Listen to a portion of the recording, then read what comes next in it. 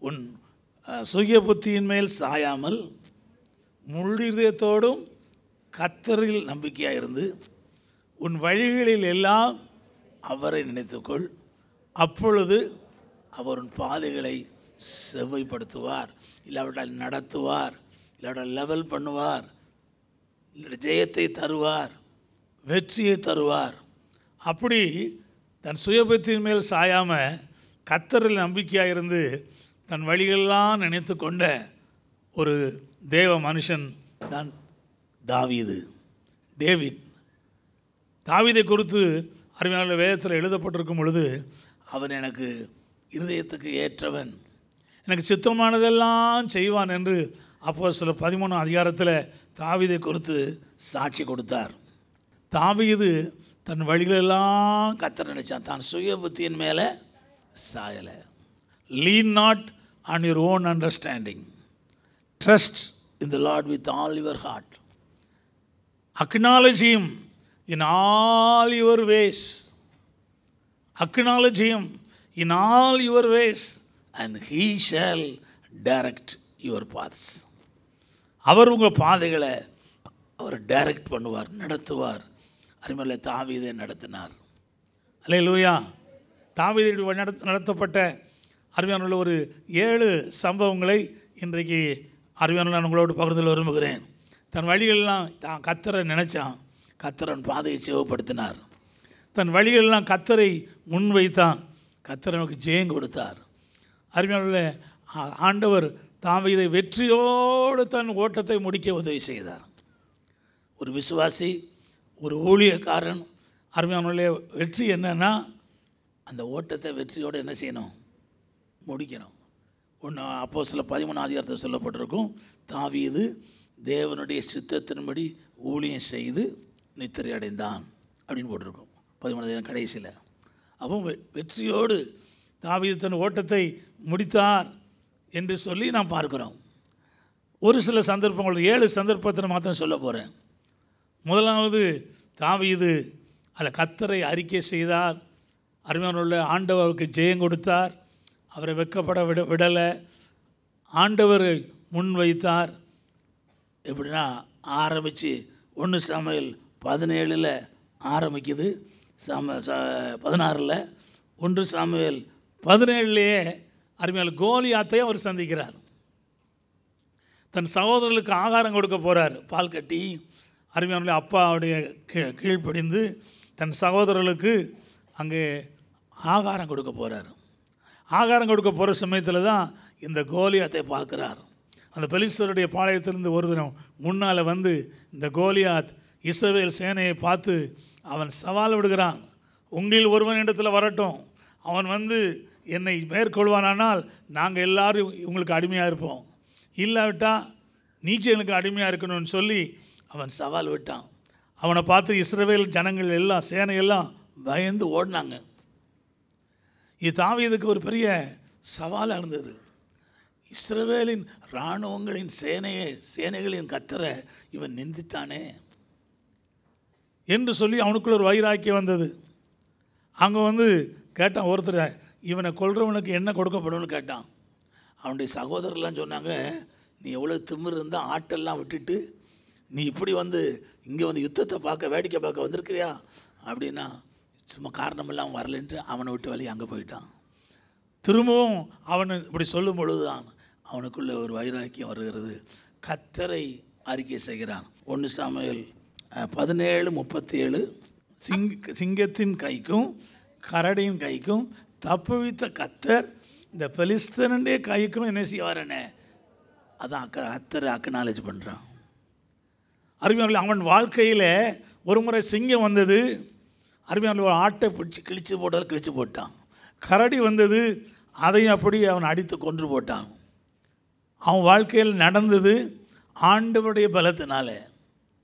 அந்த ஆண்டவர் செய்த அற்புதத்தை அவன் நினைவு கூர்ந்தான். சிங்கத்தின் வாய்க்கும் கரடியின் கைக்கும் தப்புவித்த கத்தர் அருமையான தேவண்ட பிள்ளையே ரெண்டாயிரத்தி இருபதாவது ஆண்டுக்குள்ளே பிரவேசித்திருக்கிற உன் வாழ்க்கையில் எத்தனை அற்புதத்தை ஆண்டவர் செஞ்சுருக்கிறாரு. அதை மறந்துடாதங்க. அவர் செய்த சகல உபகாரத்தையும் மறவாது. அவர் செய்த அற்புதங்களை மறக்காதுங்க முடிஞ்ச டைரியெல்லாம் எழுதி வைங்க. இப்போ என் வாழ்க்கையில் ஆண்டவர் செய்த அற்புதங்கள்லாம் டைரியில் எழுதி வச்சுருக்கிறேன். அற்புதம் மிரக்கள் அருமையானே அது மனுஷன் செய்ய முடியாது. ஆண்டவர் தான் அதை செய்தார். நூற்றுக்கு நூறு ரெண்டு கையை உயர்த்தி கொண்டு சொல்ல முடியும்? ஆண்டவர் அற்புதம் செய்தார். உங்கள் வாழ்க்கையில் அப்படி செஞ்சுருக்கிறாரு. அலையிலூயா. அதை மறக்காதங்க. ஏதாவது பிரச்சனையை ஃபேஸ் பண்ணும் பொழுது அந்த அற்புதம் செய்த ஆண்டவர் அந்த முறையில் எனக்கு உதவி செய்தவர் இந்த முறை எனக்கு உதவி செய்வார். அந்த தைரியத்தில் தான் தாவியது கோலியாத்துக்கு பயந்து ஓடலை. அங்கே எழுதப்பட்டிருக்கும் அவனுக்கு எதிராக அவனுக்கு நேராக ஓடி. இஸ்ரேல் ஜனங்கள்லாம் பயந்து பின்புறம் ஓடினாங்க. தாவிது அவனுக்கு நேராக ஓடினான். அருமையானவர்களே அதை ஒன்று சமையல் பதினேழு நாற்பத்தஞ்சு டு நாற்பத்தேழு வாசிங்க. அதற்கு தாவீது பெலிஸ்தனை நோக்கி நீ பட்டயத்தோடும் ஈட்டியோடும் கேடகத்தோடும் என்னிடத்தில் வருகிறாய். நானோ நீ நிந்தித்த இஸ்ரவேலுடைய இராணுவங்களின் தேவனாகிய சேனைகளுடைய கர்த்தரின் நாமத்திலே உன்னிடத்தில் வருகிறேன். இன்றைய தினம் கர்த்தர் உன்னை என் கையில் ஒப்புக்கொடுப்பார். நான் உன்னை கொன்று உன் தலையை உன்னை விட்டு வாங்கி பெலிஸ்தருடைய பாளையத்தின் பிணங்களை இன்றைய தினம் ஆகாயத்து பறவைகளுக்கும் பூமியின் காட்டு மிருகங்களுக்கும் கொடுப்பேன். அதனால் இஸ்ரவேலில் தேவன் ஒருவர் உண்டு என்று பூலோகத்தார் எல்லாரும் அறிந்து கொள்ளுவார்கள். பாருங்க விசுவா தாவீதுடைய வாழ்க்கையில் விசுவாச அறிக்கை. நீ ஈட்டியோடும் பட்டயத்தோடும் கேடகத்தோடும் வருகிறாய்.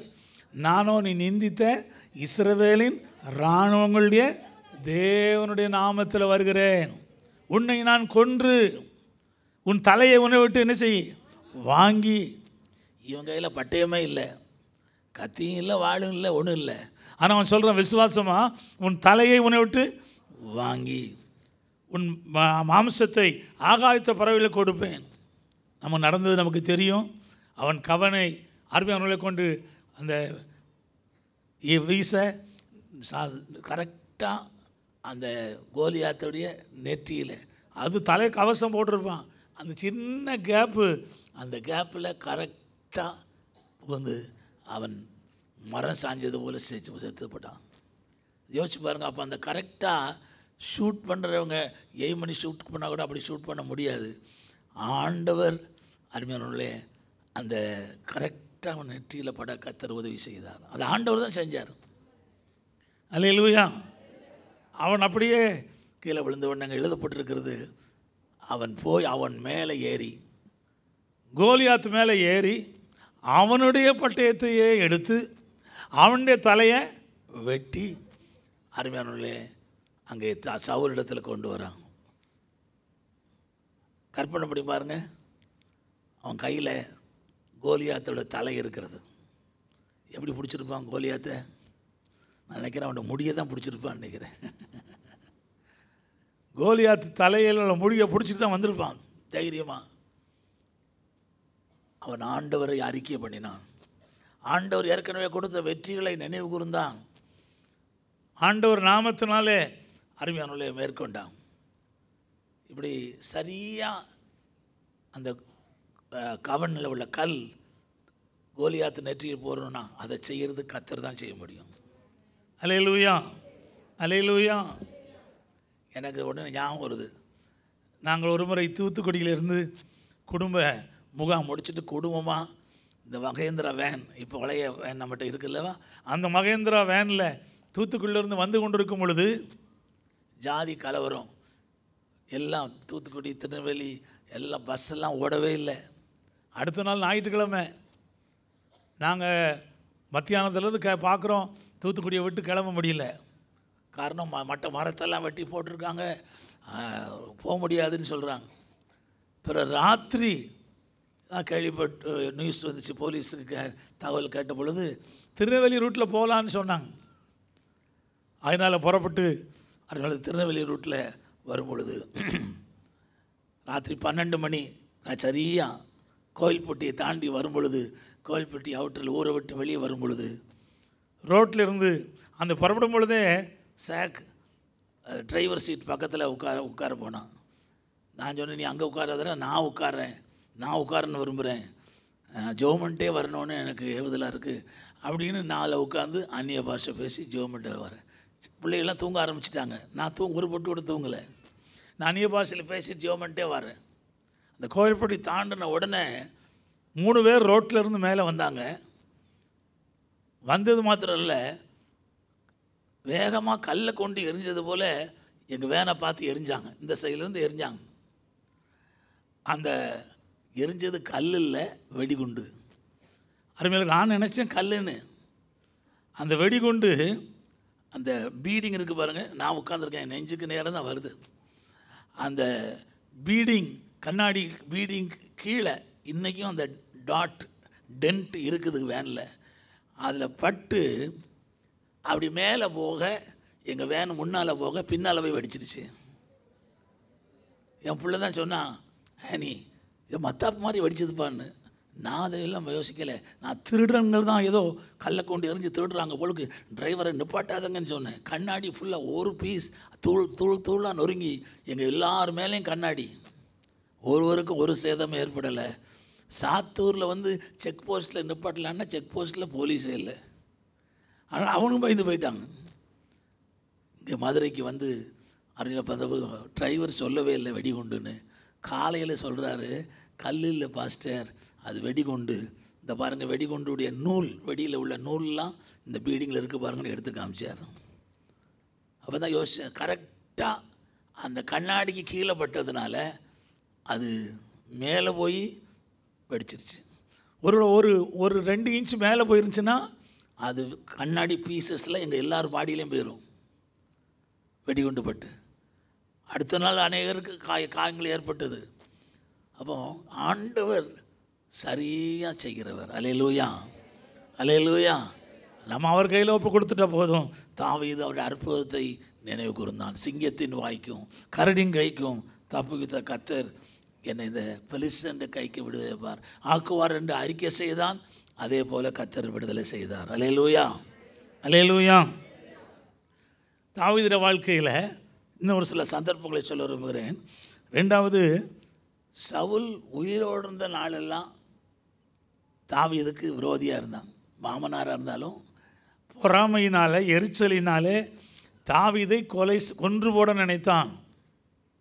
ஒரு குருவியை வேட்டையாடுவது போல வேட்டையாடினான் தெள்ளு பூச்சியை தேட இஸ்ரேல் ராஜா புறப்பட்டு வந்தாரான்னு தா தாவீது சொல்கிறது போல் அந்த மாதிரி அவன் ஒரு மனுஷனை பிடிக்கிறதுக்கு ஆயிரக்கணக்கான சேனைகளோடு அவன் அவனை விரட்டினான். போகிற இடத்துலலாம் அவனை துரத்தினான். ஆனால் கத்தர் சவுலின் கையில் தாவீது என்ன செய்யலை? ஒப்பு கொடுக்கல. அப்படி அந்த சவுல் எங்கேதிங்கிற அந்த இடத்துல வனாந்திரத்தில் கெபியில் மாட்டிக்கொள்கிறான் தாவீது கையில். தாவீதும் அவனுடைய மனுஷரும் அந்த கெபிக்குள்ளே இருக்காங்கன்னு சொல்லி சவுலுக்கு தெரியாது. அவன் அங்கே அந்த கவிக்குள்ளே போன பொழுது தா சவுல் தாவீதுடைய மனுஷர் சொல்கிறாங்க உன் எதிரியை கத்திர உன் கையில் என்ன செஞ்சிட்டாரு? ஒப்பு கொடுத்துட்டாரு. அருமையானே அங்கே கத்தருக்கு பயந்து தாவீது சவுலை தப்ப விட்டான். அலையிலூயா கத்தர் அபிஷேகம் பண்ணவர் மேலே கை போட்டு குற்றமில்லாமல் போகிறவன் யார்? அலையிலூயா கத்தர் அபிஷேகம் பண்ணவர் மேலே கை போட்டு குற்றமில்லாமல் போகிறவன் யார்? என்று சொல்லி அருமையானுள்ளே அவரை அவரை ஜீவனை தப்ப விட்டான். அது மாதிரி இன்னொரு சந்தர்ப்பத்திலையும் ஒன்று சமையல் இருபத்தாறாம் அதிகாரம் எட்டாம் வசனம் ஒம்பது பத்து பதினோரு வசனங்களை பார்த்தங்கன்னா அப்பவும் சவுல் அந்த ராத்திரி தூங்கி கொண்டிருக்கும் பொழுது சவுளை தாவிதை பிடிக்க வந்த சந்தர்ப்பத்தில் தான் அவன் எல்லாரும் நித்திரியாக்குறாங்க. அப்பனேரும் அங்கே தூங்கி கொண்டிருக்கிறான். அங்கே ஒரு வசனம் இருக்கும் அந்த இடத்துல ஒரு வசனம் இருக்கும். கத்திரி எல்லாம் அயர்ந்து நித்திரை வர பண்ணதுனால ஒருத்தரும் எந்திக்கலையான் தாவீதும் அருமையானவர்களே அபிசாயும் போய் அங்கே அவனுடைய செம்பையும் ஈட்டியும் எடுத்துக்கிட்டு வந்துட்டாங்க. அப்பொழுது அங்கே அபிசாயி சொல்கிறான் தாவிதை பார்த்து ரெண்டு குத்தா இல்லை ஒரே குத்தா நிலத்தில் குத்தி போட்டுருவோம். உன் எதிரியை கத்தர் ஒப்பு கொடுத்துட்டாரு என்று அபிசாய் வந்து கத்தர் நாமத்தை தான் சொல்கிறான் கத்தர் தான் ஒப்பு கொடுத்துருக்காரு. ஆனால் தாவிது சொல்கிறான் கத்தர் அபிஷேகம் பண்ணவர் மேலே கை போட்டு குற்றம் இல்லாமல் போகணும் யார்? அப்பவும் கத்தர் தான் அறிக்கை பண்ணுறான் எதிரியே அவன் கையில் தேவன் ஒப்பு கொடுத்தார் போல மற்றவங்க சொன்னாலும் அவன் ஆண்டவர் அபிஷேகம் பண்ணின அவரை அபி சவுலை அபிஷேகம் பண்ணின ஆண்டவருக்கு பயந்து அவனை தப்பு விட்டான். அவன் சொல்கிறான் அவர் இயற்கையாக ஆண்டால் ஒழிய யுத்தத்தில் செத்தால் ஒழிய நான் மேலே கை போடாதபடி கத்தர் என்னை காப்பாராக. கத்தரை அறிக்கை செய்த ஒரு தாவிது எதிரியை அவன் கையில் ஒப்பு கொடுத்த பொழுது கூட. மூன்றாவதாக ஒரு சந்தர்ப்பத்தை பார்க்குறோம். இந்த பெலிஸ்தரையும் இந்த சிக்லாக் இடத்துல இந்த இந்த தாவிதோடு இந்த எல்லா மனுஷரையும் குடும்பத்தாரையும் அந்த அமலேக்கியர் வந்து கொள்ளையாடிட்டு போயிடுவாங்க தாவீது பெலிஸ்தருக்கு யுத்தத்துக்கு ராஜாவுக்கு உதவி செய்ய போயிருப்பான். அவன் வேண்டான்னு திரும்பி அனுப்பிச்சிடுவான் அவன் வரும் பொழுது இங்கே சிக்லாக்குக்கு வந்தால் எல்லாம் ஒருத்தருமே இல்லை. மனைவி பிள்ளைகள் அருமையானவர்களே ஆடு மாடுகள் எல்லாவற்றையும் அவங்க க அவங்க சிறைப்படுத்தி போயிட்டாங்க. இந்த சுச்சுவேஷனை யோசிச்சு பாருங்கள் ஏற்கனவே அவன் சவுல் வரட்டிகிட்டு இருக்கான். வனாந்தரத்தில் இருக்கிறான். இப்போ மனைவி பிள்ளைகள் ஆடு மாடுகள் எல்லாம் போயிடுச்சு. அப்பொழுது அங்கே எழுதப்பட்டிருக்கோம் தாவியது மிகவும் நெருக்கப்பட்டான். ஆறாம் வசனத்தில் போட்டிருக்கோம். ஒன்று சாமியல் முப்பது இருபதில் தாவியது மிகவும் நெருக்கப்பட்டான். ஏன்னா ஹோல் அவனோடு இருக்கிறவங்க குடும்பமும் போயிடுச்சு. அவனோடு இருக்கிறவங்களே மனைவி பிள்ளைகள்லாம் கைதாகி போனதுனால என்ன நினச்சாங்கன்னா என்ன பேசிக்கொள்கிறாங்கன்னா இவனை கல்லறிஞ்சு கொள்ளணும் இவனை நம்பி தானே நம்ம போனோம். தாவீதுக்கு அகைன்ஸ்டாக போயிட்டாங்க. கல்லறியும்படி பேசிக்கொண்டார்கள் ஆனாங்க தாவீது தன் தேவனாய கத்தருக்குள் தன்னை திறப்படுத்தி கொண்டான். தேவப்பிள்ளையே உங்களுக்கு இப்படிப்பட்ட சந்தர்ப்பங்கள் வந்திருக்காது. அறிவாளில் எந்த சந்தர்ப்பம் வந்தாலும் கத்தருக்குள்ளே உங்களை திடப்படுத்தி கொள்ளுங்கள். அல்லேலூயா கத்தருக்குள்ளே உங்களை திடப்படுத்த அங்கே தா திடப்படுத்துறதுக்கு யாருமே இல்லை. தைரியம் சொல்ல யாருமே இல்லை. ஆனால் அங்கே எழுதப்பட்டிருக்கிறது கத்தருக்குள்ளே தன்னை திடப்படுத்தி கொண்டான். He strengthened himself in in lord. தேவ பிள்ளையை நீங்களும் நானும் ஆண்டவருக்குள்ளே எந்த சூழ்நிலையிலும் திடப்படுத்தி கொள்ளலாம். ஸ்தோத்திரம். அது மாதிரி அங்கே எழுதப்பட்டிருக்கும். தாவியது அங்கே விசாரிக்கிறான். நான் போகலாமா அவங்கள எல்லாத்தையும் நான் என்கிட்ட ஒப்பு கொடுப்பீரா? என்று சொல்லி தாவியதுடைய ரொம்ப ஸ்பெஷாலிட்டி எல்லாத்துலேயும் கத்தரை நினச்சது. என்ன பிரச்சனைனாலும் அவனை என்னை ஆண்டவர் என்ற அவர் பாதத்தில் விழுந்துருவான். எல்லாம் அவர்கிட்ட விசாரிக்காமல் ஒன்றும் செய்ய மாட்டான். இப்போ எல்லாம் மனைவி பிள்ளைகள் எல்லாம் போயிட்டாங்க.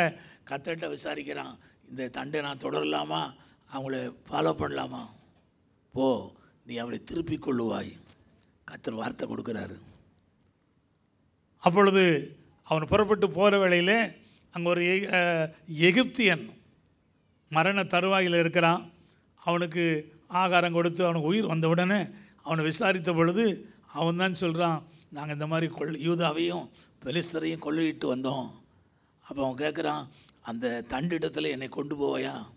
என் எஜமான்ட்டு என்னை ஒப்பு கொடுக்க மாட்டேன்னா நான் கொண்டு போகிறேன் அதே போல் அவன் கொண்டு போய் அங்கே எல்லாரும் நல்லா குடித்து ஆடிட்டு இருக்கு கொண்டாடி கொண்டிருக்கும் பொழுது சொல்லப்பட்டிருக்கும் சாயங்காலத்திலேருந்து அடுத்த நாள் சாயங்காலம் வர தாவித அவளை முறியடித்தான். அது மாத்திர எல்லாவற்றையும் திருப்பி கொண்டான். டேவிட் ரெஸ்டோர்ட் ஆல் எல் சகலத்தையும் திருப்பி கொண்டான். தாவிது அருமையால் ஒன்று கூட விடலை. எல்லாம் அது தவிர அவங்களுடைய மிருக ஜீவங்கள் எல்லாவற்றையும் திருப்பி கொண்டான். கத்தரை அறிக்கை பண்ணதுனால கத்தரை விசாரித்ததுனால அருமையுள்ள கத்தர் தாவீதுக்கு ஜெயம் கொடுத்தார். அலையலூயா. பெரிய பிரச்சனை அந்த சமயத்திலே ஆண்டவர் உதவி செய்தார். நாலாவதாக தாவீதின் ஜீவனை வாங்க அங்கே சவுலும் அவனுடைய சேனையும் முயற்சி பண்ணாங்க கடைசியில்.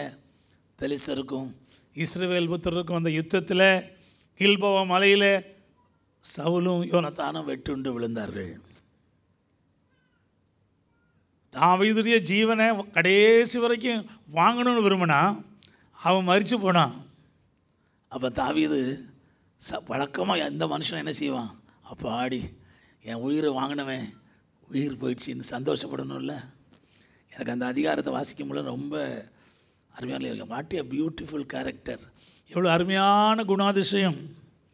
அருமையான ரெண்டு சாமியல் முதல்ல அதிகாரத்தில் நீங்கள் படிச்சீங்கன்னா தாவீதின் பேரிலும் யோனத்தான் பேரிலும் அருமையான சவுல் பேரிலும் யோனத்தான் பேரிலும் தாவீது புலம்பல் பாடினான். அவங்க இறந்ததுக்காக இவன் வருத்தப்படுறான். அவங்கள புகழ்ந்து போ சொல்கிறான் ஐயோ ஒரு நாளும் அந்த வில்ல யுத்தத்தில் பின் வாங்கினது இல்லையே சவலுடைய அம்புகள். அருமையானவர்கள் அப்படி அவங்கள அவங்களுக்கு நிமித்தம் புலம்பல் பாடுறான். அப்போ த புலம்பல் பாடினது மாத்திரம் இல்லை. ஆண்டவர் அவன் மறித்து போன உடனே இன்னொரு மனுஷனாக இருந்தான். தன் சுயபக்தி மேலே சாய்ந்து எருசலேமில் போய் சிங்காசனத்தில் உட்காந்துருப்பான் ஏன்னா தாவீதுக்கு அடுத்தாப்புல நெக்ஸ்ட்டு கிங் யார் தான் சாரி சவுலுக்கு அடுத்தாப்புல. தாவீதுன்னு தாவீதுக்கும் தெரியும் சவுலுக்கும் தெரியும் யோனத்தானுக்கும் தெரியும் சாமுவேலே திக்க தரிசனம் சொல்லிட்டார். அப்போ அவனுக்கு நல்லா தெரியும் நான் தான் சவுலுக்கு அடுத்தாப்புல ராஜா. அப்போ தன் சுய புத்தியின் மேலே சாய்ந்து அவன் எந்த டெசிஷன் எடுத்திருந்தானா எங்கே போயிருக்கணும்? எருசலேமுக்கு போயிருக்கணும்.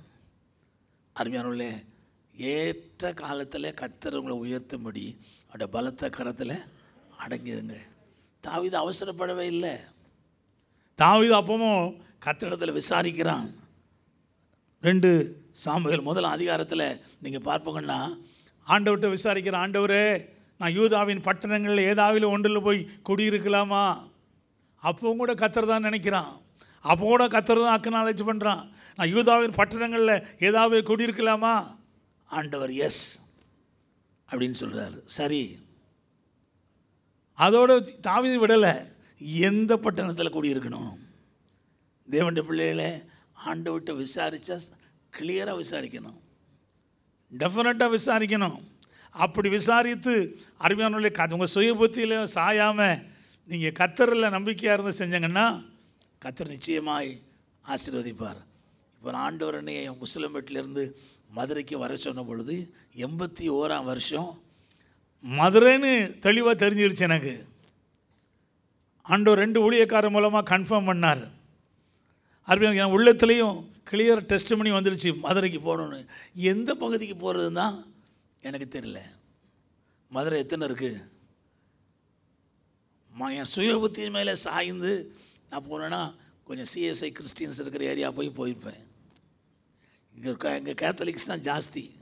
சிஎஸ்ஐ ரட்சணியபுரம் சின்ன ஆலயம் இப்போ பெருசுபடுத்தியிருக்கிறாங்க மற்ற எந்த ஆவிக்குரிய சபையும் புதூரில் கிடையாது.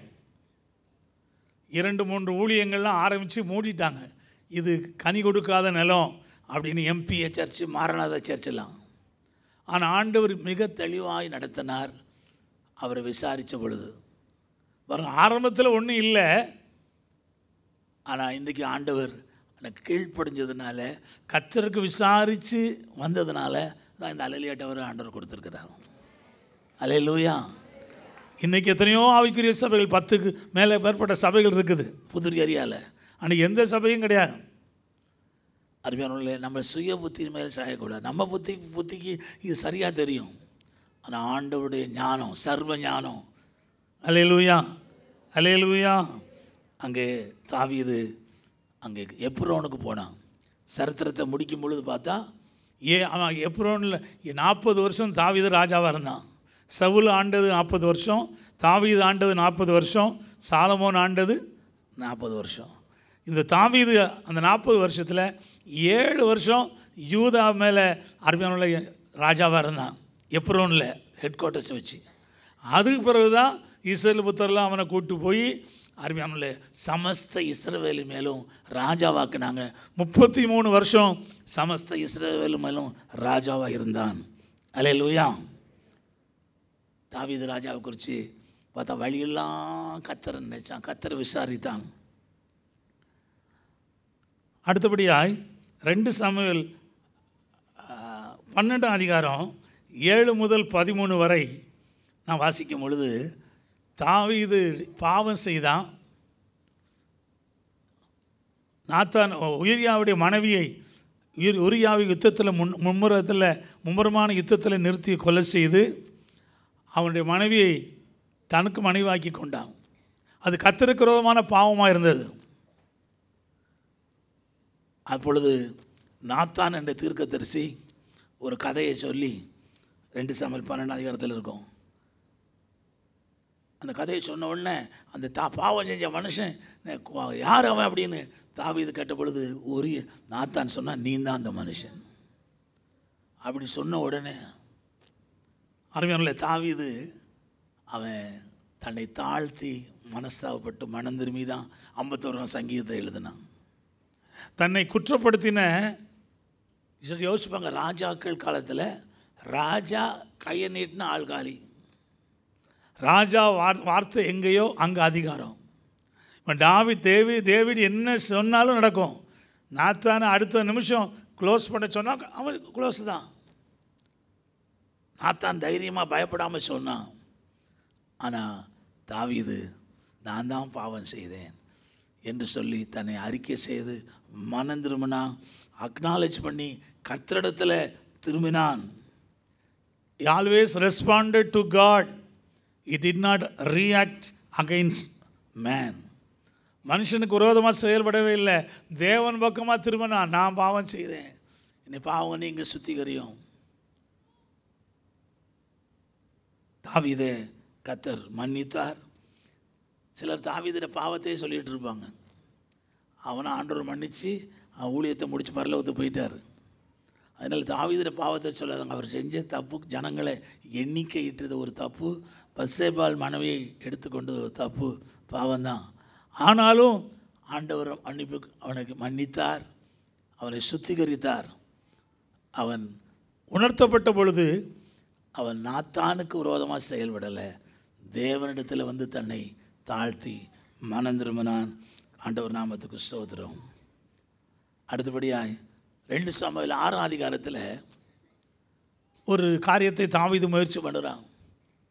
உடன்படிக்கை பட்டியை எப்படியாவது கொண்டு வர வேண்டும்.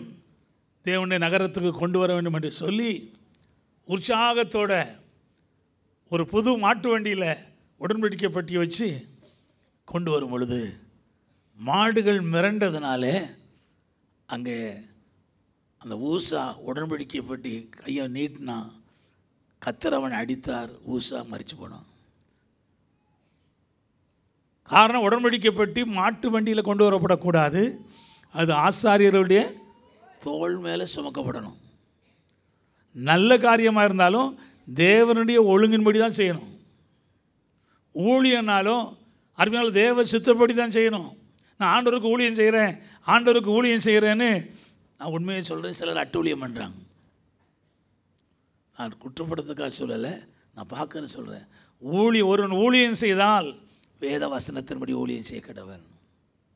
குடும்பத்தில் சாட்சியாக இருந்து அருமையிலே பண விஷயத்தில் உண்மையாக இருந்து பிள்ளைகளை நன்றாக நடத்தி அருமையானுடைய ஊழியன்னா அப்படி தான் தன் சொந்த குடும்பத்தை நடத்தலைன்னா அவன் தேவனுடைய சபை எப்படி?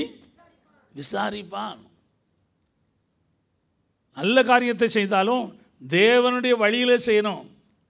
உடன்படிக்கை பற்றி கொண்டு வருவது நல்ல காரியம். ஆனால் அது ஆசாரிகள் சுமந்து கொண்டு வரணும். ஆனால் அதுக்காக தேவனை விசாரித்து அதுக்கப்புறம் தான் அதை அந்த பெட்டியை ஓபேத்து ஏதம் வீட்டில் கொண்டு வைக்கிறாங்க மூணு மாதம் அது நிமித்தம் அந்த பெட்டி நிமித்தம் கத்தரை ஓத ஓபேத்து ஏதமை ஆசீர்வச்சதுனால திரும்ப எப்படி கொண்டு வருவது என்று விசாரித்து அப்போ தான் கண்டுபிடிச்சான். ஆண்டவருடைய வசனத்தின்படி அதை ஆசாரிகள் சுமந்து கொண்டு வரணும். அப்படி தான் தேவனுடைய உடன்படிக்கை பெட்டியை கொண்டு வந்தான். நான் நல்ல காரியம் தானே செய்தேன். உடன்படிக்கை பெட்டி தானே கொண்டு வந்தேன். இப்படி என் உடன் ஊழியக்காரர் நான், அவன் நான் மறித்து போனானே என்று சொல்லி அருமையானவர்கள அவன் முறுமுறுக்கலை. அவன் ஆண்டவரத்தில் குறை சொல்லவில்லை. ஊசாவை கத்தரை அடித்த பொழுது ஒரு வார்த்தை சொல்லலை. காரணம் மிஸ்டேக் தன் மேலே. கடைசியாக அருமையானுள்ளே பசேவாட்ட பாவம் செய் மூலமாக பிறந்த அந்த குழந்தைக்கு தேவண்டி தீர்க்கதரிசி சொல்கிறான் நிச்சயமாக உனக்கு பிறந்த குழந்தை என்ன செஞ்சிடும் செத்து போவோம் தேவண்டி தீர்க்கதரிசி சொல்கிறான் ஆனால் இவன் அதை அக்செப்ட் பண்ணலை. அவன் ஒரு வாரம் உபவாசம் மோ தரையில் கடந்து நீங்கள் வாசி பார்த்தான ஒரு வாரம் உபவாசம். அருமையான தேவ சித்தத்துக்கு விரோதமாக ஒரு வாரம் என்ன? ஒரு மாதம் உபவாசம் இருந்துச்சுனால ஒன்றும் நடக்காது. நீ பாவம் செஞ்ச அது நான் உன்னை மன்னிச்சிடுறேன். ஆனால் தண்டனை அனுபவிச்சு ஆகணும் அந்த புள்ள செத்து போவோம் ஒரு வாரம் மோ தரையில் விழுந்து அவன் உன் கூப்பிட விழுந்து ஜெபம் பண்ணுறான் புள்ள செத்து போச்சு. அப்பொழுது எப்படிடா சொல்கிறது டாக்டர் ராஜாட்ட? ஏற்கனவே அவர் சாப்பிடாம துக்கத்தோடு இருக்கிறாரு அப்படின்னு அவங்க பேசுனதை கேட்ட உடனே ஏதோ சம்திங் நடந்துருச்சுன்னு கேட்குறான் என்ன புள்ள செத்து போயிடுச்சா? ஆமாம் உடனே எந்திரிச்சு ஆண்டவரே நான் ஒரு ஏழு ஒரு வாரம் உபவாசம் பண்ணேன். என் பிள்ளை எடுத்துக்கிட்டே நான் கோவிக்கலை. அங்கே எழுதப்பட்டிருக்கிறது அவன் எழுந்து ஸ்நானம் பண்ணி த- தென்னை பூசிக்கொண்டு தன் வஸ்திரங்களை மாற்றி கத்தருடைய ஆலயத்தில் பிரவேசித்து பணிந்து கொண்டு ஒர்ஷிப் பண்ண ஒர்ஷிப் பண்ணான் இன்னைக்கு சிலருக்கு ஏதாவது ஒன்று நடந்துச்சுன்னா ஆராதனைக்கு வர மாட்டாங்க. இந்த ஆ- ஆண்டவர் மேலே கோச்சிக்கிட்டு பாருங்கள் டேவிட யோசிச்சு பாருங்க. புள்ள செத்து போச்சு. அருமையில் ஒரு வாரம் ஃபாஸ்டிங் இருந்து ஜெபம் பண்ணி பார்த்தான். பதில் வரல. இப்பொழுது பிள்ளை மறித்த பிறகு அவன் ஸ்நானம் பண்ணி கத்தரை ஆராதிக்க போய் பணிந்து கொண்டு தேவனுக்கு ஆராதனை செலுத்த போனான். ஆண்டோடைய ஆலயத்துக்கு போனான். தேவனுடைய பிள்ளை நீங்கள் உயிரோடு இருக்கிற நாளெல்லாம் கத்தரை தொழுது கொள்வதை வேறு எதுவும் ஸ்டாப் பண்ணக்கூடாது. அல்லையா அது ஆயிடுச்சு இது ஆயிடுச்சு புருஷன் திட்டாரு மாமியார் தட்டிட்டாங்க. அது நடந்துருச்சு இது நடந்துருச்சு. ஆஃபீஸில் பாஸ் இது பண்ணிட்டாங்க. எல்லாவற்றிலையும் நீங்கள் ஆண்டவரை அறிக்கை பண்ணுங்க. அருமையான ஆண்டவரை ஆராதிப்பதற்கு மாத்திரம் எந்த புஷ்டாப் வைக்காதங்க நான் உயிரோடு இருக்க வரைக்கும் கத்தரை துதிப்பேன். உள்ளளவும் கீர்த்தனம் பண்ணுவேன். அல்லையா வழிகளெல்லாம் கத்தரை நினைத்து கொள்ளுங்கள். அருமையான உங்களுக்கு சொந்த சுய புத்தின் மேலே சாயாதங்க. அப்பொழுது கத்தர் உங்கள் வழியை செவ்வப்படுத்துவார் உங்களை வழி நடத்துவார் he shall direct your paths நீங்கள் போகிற பாதையை அது எப்படிப்பட்ட பாதையாக இருந்தாலும் கலங்க வேண்டாம். கத்தர் நமக்கு வாக்கு பண்ணியிருக்கிறார். பாதைகளை செவைப்படுத்த வேண்டும் நம்ம வழியை மாத்திரம் கத்தருக்கு ஒப்பு கொடுத்து அவர் மேலே நம்பிக்கை வச்சு அருமையானே நாம் முன்னேறி செல்லுவோம். அவர் என் ஜனங்கள் அவரை நம்புகிறவர்கள் ஒரு நாளும் வெட்கப்பட்டு போகல. அவரை நம்பி வெட்கப்பட்டு போகாதிருந்தார்கள். இருபத்தி ரெண்டாம் சங்கத்தில் இருக்கும். அவரை நம்பி வெட்கப்பட்டு போகாதிருந்தார்கள். நீங்களும் நானும் கத்தரை நம்புவோமானா நான் வெட்கப்பட்டு போக மாட்டோம்